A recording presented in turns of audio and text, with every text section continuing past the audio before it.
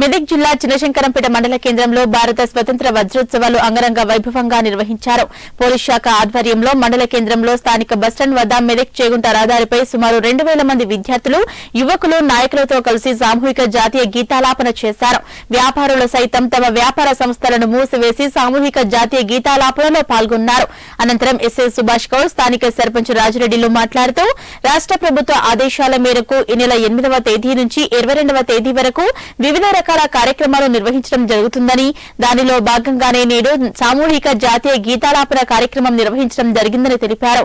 ఈ కార్యక్రమంలో తహసీల్దార్ రాజేశ్వరరావు ఎంపీడీఓ గణేష్ రెడ్డి స్థానిక సర్పంచ్ రాజరెడ్డి ఎస్ఐ సుభాష్ గౌడ్ ఉప సర్పంచ్ రంజీలతో పాటు వివిధ పార్టీల నాయకులు అధికారులు వివిధ పాఠశాలల విద్యార్థులు వ్యాపారస్తులు పాల్గొన్నారు.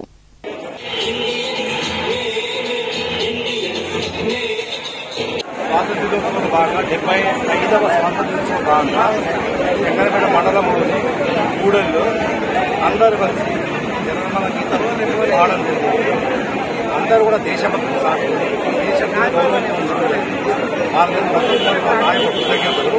మరి ఎంతో మంది పెద్దలు త్యాగదరులు వారి యొక్క జీవితాలను అర్పించి మనకి స్వాతంత్రం తీసుకొచ్చింది కాబట్టి మనం ఈ రోజు ఈ భారతదేశంలో స్వేచ్ఛగా స్వాతంత్ర ఉత్సవాలలో వజ్రోత్సవాలలో భాగంగా మరి కేంద్ర ప్రభుత్వం రాష్ట్ర ప్రభుత్వం ఆజాదీ అమృతోత్సవం అని హర్ గంద హర్ ఘర్ జెండా అని మరి ఇలా జాతీయ గీతం మరి కేసీఆర్ పిలుపు మేరకు ఎక్కడ గ్రామాల్లో ప్రతి గ్రామంలో జాతీయ గీతం ఆలపించాలి ఈ దేశంపై మనకున్న ప్రేమ మన అలీన విధానం మన భిన్నత్వంలో ఏకత్వం మన అందరి గొప్పతనం ఎంత గొప్ప ఉంది ఈ దేశం మీద.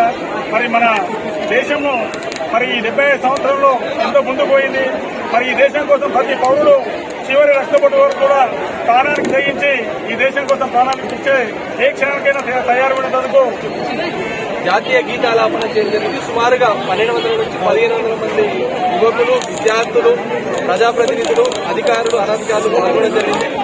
విజయవంతంగా పూర్తి చేశాము ఈ పది భార- రాష్ట్ర ప్రభుత్వం ఆదేశాల మేరకు పదిహేను రోజులు ఏర్పాటు చేసిన ప్రతి కార్యక్రమాన్ని కూడా అధికారుల మరియు గ్రామ సర్పంచ్ అధికారుల సహకారంతో